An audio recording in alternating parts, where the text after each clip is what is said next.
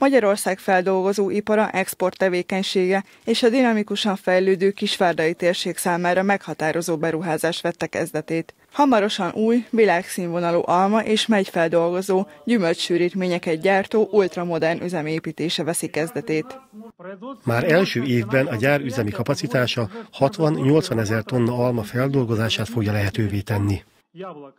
Ezzel párhuzamosan körülbelül 3000 tonna megy feldolgozására is lesz lehetőség. A megtermelt és feldolgozott termékek 98%-át külföldre exportálják majd, ezzel komoly konkurenciát létrehozva a már térségben működő gyümölcsfeldolgozóknak. Ez azért is fontos, mert Tornyos Pálca 800 éves történelmében nem volt olyan esemény, amely ilyen mértékben meghatározta volna a térség gazdasági fejlődését.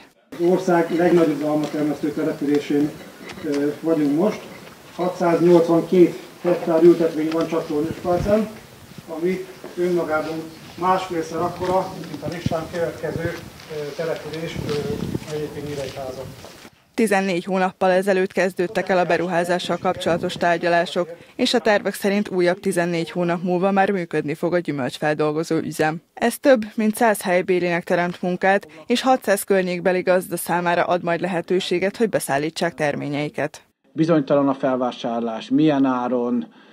Nem olyan régen beszélgettünk ilyen gazdákkal, hogy bárcsak minden évben olyan, olyan felvásárlás árak lennének, mint a tavalyi évben voltak.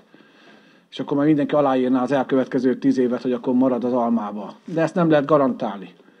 Mivel lehet garantálni? Az ilyen beruházásokkal. Hiszen a Magyar, Magyarország 21. századi kitörési pontja többek között az, hogy az itt megtermelt termékeket nem csak úgy kivigyük, hanem feldolgozott módon vigyük ki. Én azt gondolom, ez a 21. század.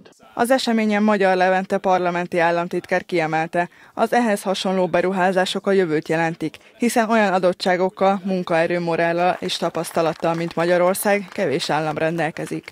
Ez az üzem is lehetőséget biztosít majd ezek kiaknázására.